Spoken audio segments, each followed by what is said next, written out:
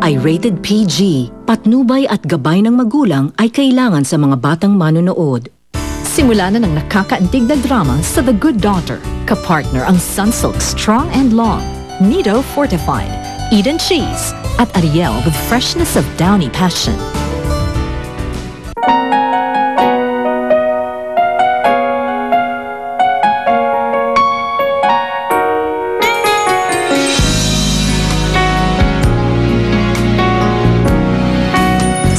Ka ba na ikaw na? Baka mahuli ka lang ni Tito Rico.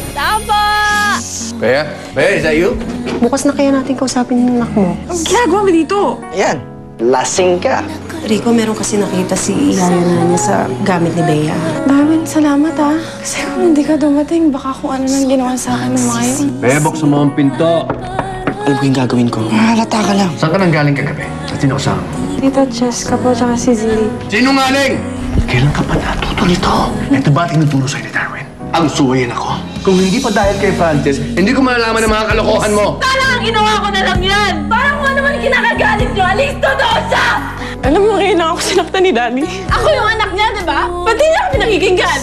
Si Darwin niya. Siya ang bad influence kay Bea. Alam mo, kung magre-rebelde ka, lalo lang kayo magkakalayo niyan eh.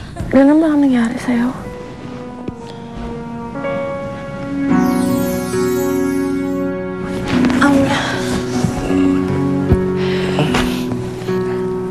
Eh, sabihin na natin, yun na nga. Pero tapos na yun.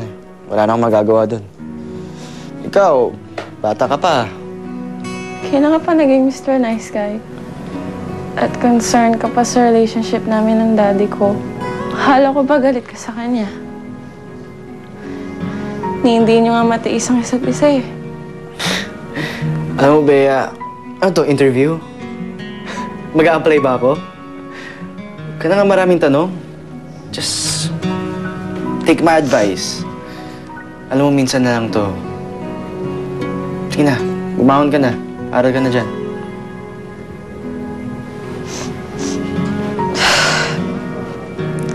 Sa dami-dami ko kasi iniisip, unahin ko pa yung exams na yan.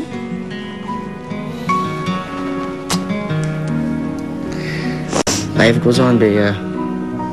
Ganun talaga.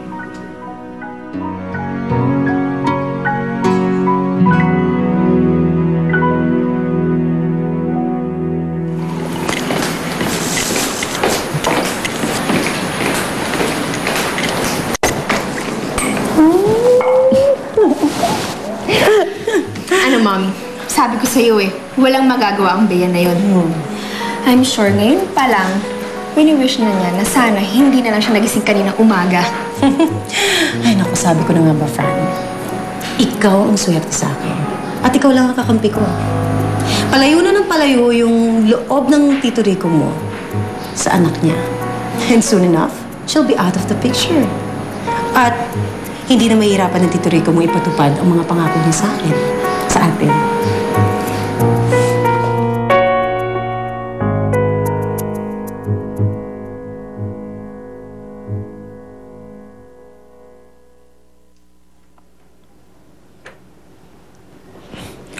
Madali lang pala to eh. Ba't Sisiw. mo ba pinakikialaman ng gamit ko? Tsaka di ka pa ba aalis? Baka kasi may makakita sa'yo dito. Yeah, hindi talaga makakaalis. Dito pa silang lahat eh. Mahirapan na makakalabas niyan. Isa pa, gusto ko muna silipin si Julia. Mamaya, susubukan ko. Sige, pag, pag alis yun na lang ng daddy niyo. Di kasi ako sanay na may kasama ako dito. Baka di ako makakapag-aral. Makakapag-aral ka niyan. Akin na. Tutulungan pa kita. Akin na yan.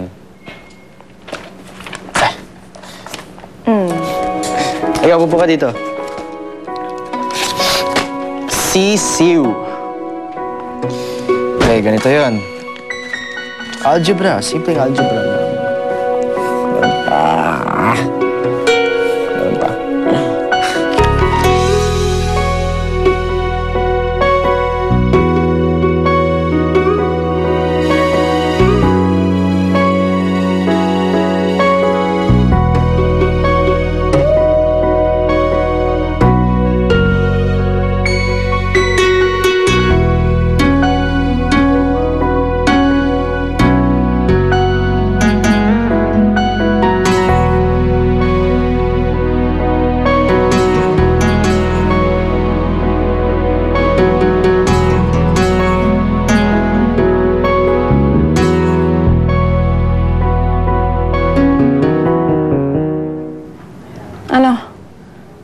Mali-mali na naman.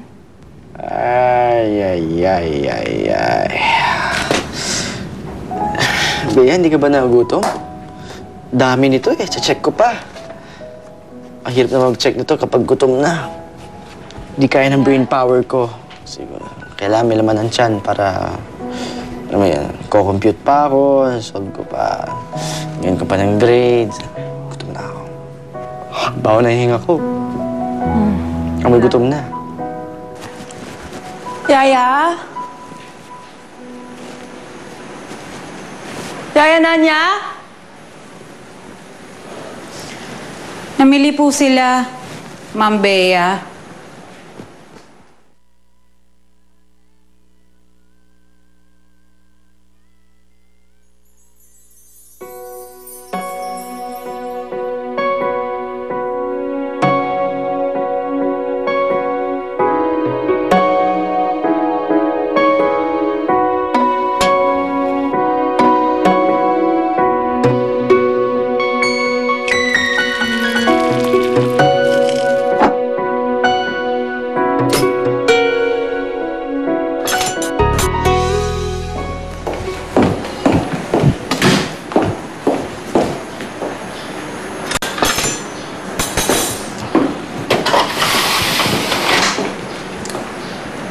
How are you, Bea? Grabe yung umaga natin, no? Intense. Pwede ba, Francis? Wala ako sa mood. Bakit? Um, ano bang mood mo ngayon? Or should I say, trip?